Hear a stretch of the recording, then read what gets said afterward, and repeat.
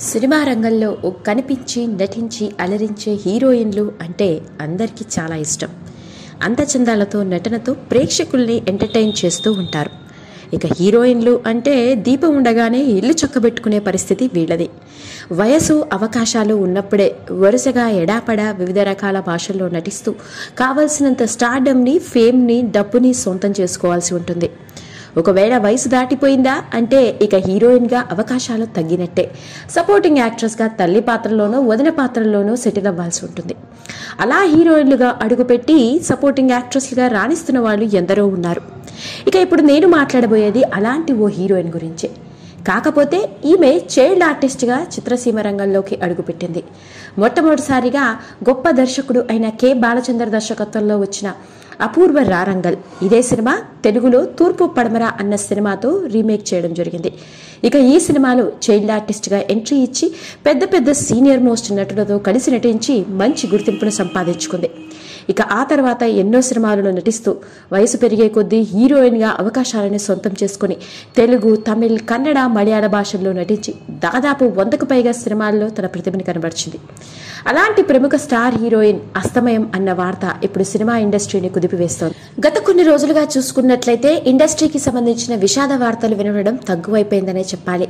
అమ్మయ్య ఇండస్ట్రీకి చెందిన వాళ్ళందరూ క్షేమంగా ఉన్నారు అని ఊపిరి పీల్చుకుంటున్న తరుణంలోనే ఇప్పుడు ఈ వార్త నెట్టింట్లో వైరల్గా మారింది. మరి ఇంతకీ ఆ హీరోయిన్ ఎవరో ఆ వివరాలేంటో ఇప్పుడు చూసేద్దాం. ఇక ఆ హీరోయిన్ ఎవరో కాదండి చిత్ర.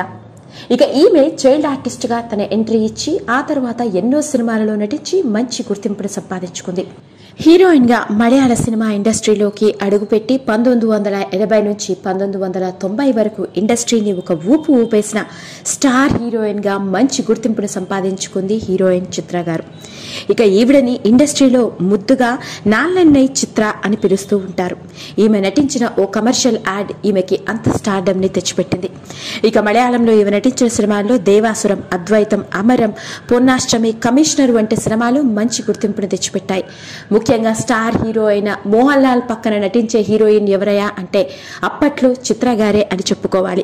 ఇక తెలుగు విషయంలోకి వెళ్తే ఈమె తెలుగులో అమావాస్య చంద్రుడు గాజు బొమ్మలు ప్రేమించాక ఇంద్రధనస్సు నేటి స్వాతంత్రవాణి సినిమాల ద్వారా మన తెలుగు వెండితెర ప్రేక్షకులకి పరిచయం అయింది చైల్డ్ ఆర్టిస్ట్గా సినీ ఇండస్ట్రీలోకి అడుగుపెట్టి తెలుగు తమిళ్ కన్నడ మలయాళ భాషల్లో వందకు పైగా సినిమాలలో నటించి మంచి గుర్తింపును సంపాదించుకుంది.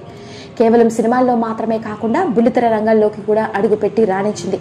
ఈమె తెలుగు తమిళ్ కన్నడ మలయాళ భాషల్లో ఎన్నో డైరీ టీవీ సీరియల్స్లో నటించింది. ఇక ఈవిడ తెలుగులో నటించిన సీరియల్ నాగమ్మ అనే సీరియల్ ద్వారా బుల్లితెర ప్రేక్షకులకి పరిచయమైంది.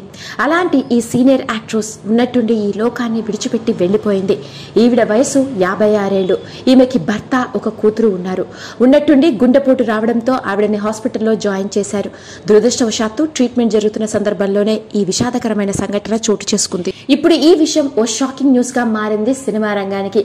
ఇండస్ట్రీకి చెందిన ఎందరో సినీ ప్రముఖులు ఇటు తెలుగు తమిళ్ కన్నడ మలయాళ భాషకి చెందిన స్టార్ సినీ సెలబ్రిటీస్ సోషల్ మీడియాని వేదికగా చేసుకుని ఓ ప్రముఖ టాలెంటెడ్ యాక్ట్రెస్ని కోల్పోయాము అంటూ ప్రగాఢ సానుభూతిని వ్యక్తపరిచారు. ఏది ఏమైనప్పటికీ ఓ సీనియర్ యాక్ట్రెస్ ఇక మన మధ్యలో లేరు. మరి ఈ బాధాకరమైన సంఘటన నుంచి ఆవిడ కుటుంబ సభ్యులు త్వరగా కోలుకునే ఆత్మస్థైర్యాన్ని మరియు ఈ ప్రముఖ నటి ఆత్మకి శాంతి కలగాలని మనందరం మనసారా ఆ దేవుడిని వేడుకుందాం. ఈ వీడియో కనుక మీకు నచ్చినట్లయితే లైక్ చేయండి షేర్ చేయండి సబ్స్క్రైబ్ చేసుకోండి. మరిన్ని వీడియోస్ కోసం పక్కనే ఉన్న బెల్ ఐకాన్ని నొక్కడం మాత్రం మర్చిపోకండి.